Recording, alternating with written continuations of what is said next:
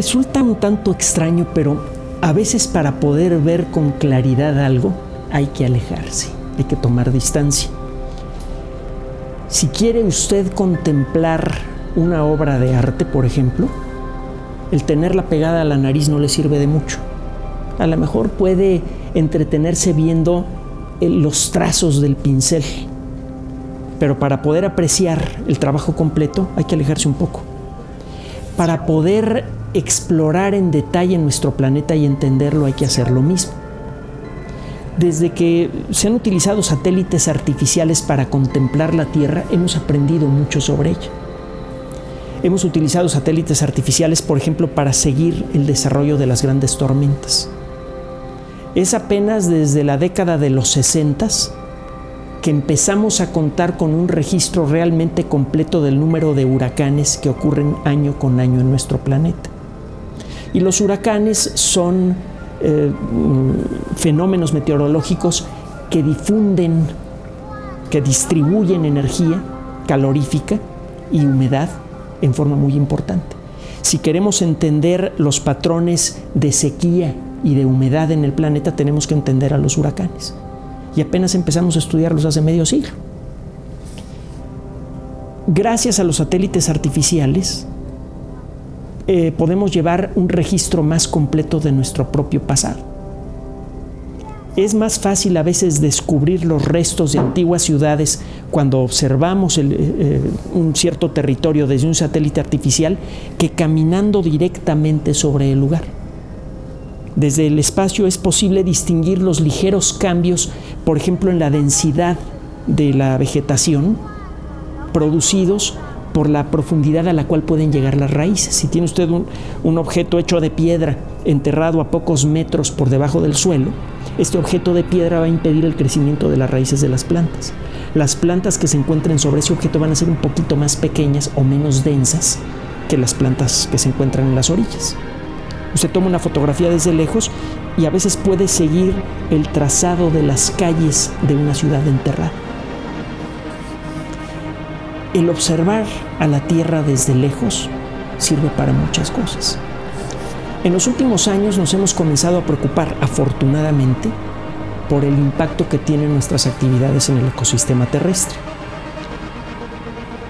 Hemos aprendido a no desconsiderar ninguna de nuestras actividades.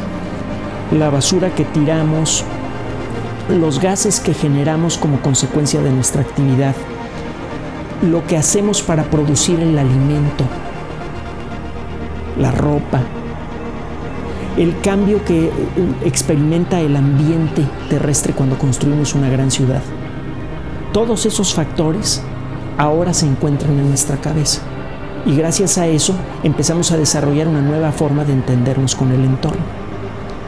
El desarrollo de esta nueva conciencia ecológica ha sido acompañado por el desarrollo de nueva tecnología espacial.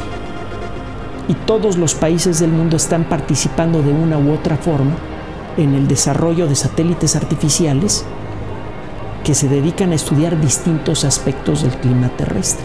Hay un satélite artificial argentino. Obviamente mm, Argentina no cuenta con los medios para lanzar este satélite artificial, pero sí para construir este aparato que incluye herramientas de observación científica que han sido eh, integradas en distintos países. En, el, eh, en este satélite, el SAC, encuentra usted, entre otras cosas, una camarita especial que se llama Aquarius, desarrollada por la NASA.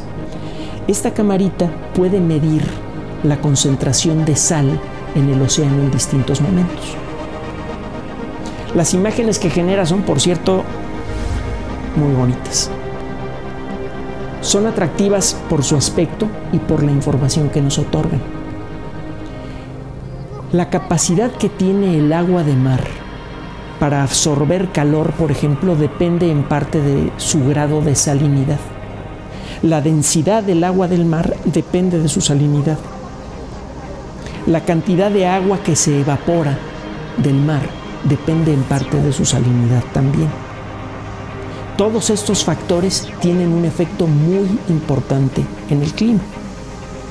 Gracias a estas observaciones estamos empezando a refinar nuestro entendimiento de cuál es el impacto de nuestras actividades en el medio global. Se puso de moda desde finales del siglo pasado, principios de este, la idea del calentamiento global. La idea de que estamos afectando directamente al clima terrestre, que lo estamos calentando como consecuencia del dióxido de carbono que generan nuestras actividades. Es cierto que nuestras actividades tienen un impacto importante, tangible en el clima, pero no es el que creíamos. Resulta que ahora sabemos que cuando menos la mitad del derretimiento de los glaciares y del Polo Norte son consecuencia de un fenómeno natural. Un fenómeno natural que se puede rastrear por primera vez en detalle gracias a cámaras como la cámara Aquarius.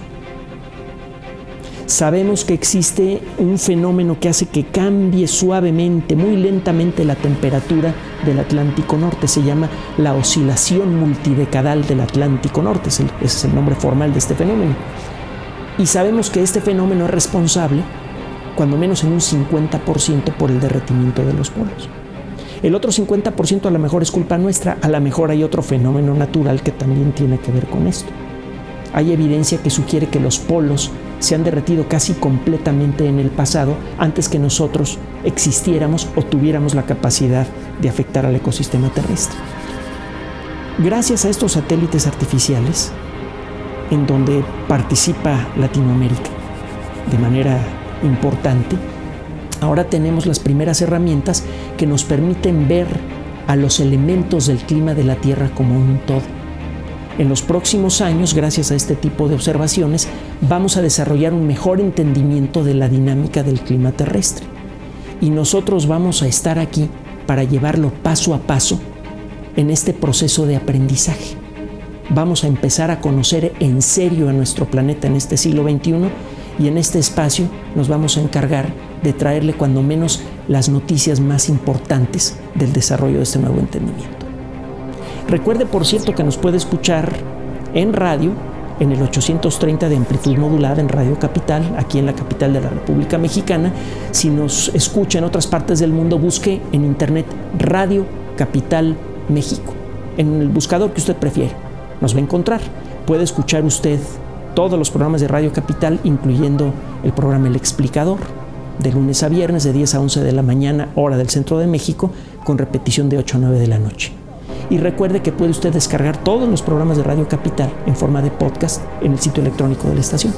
Así podemos seguirnos viendo y nos podemos seguir escuchando a la hora que usted lo decida.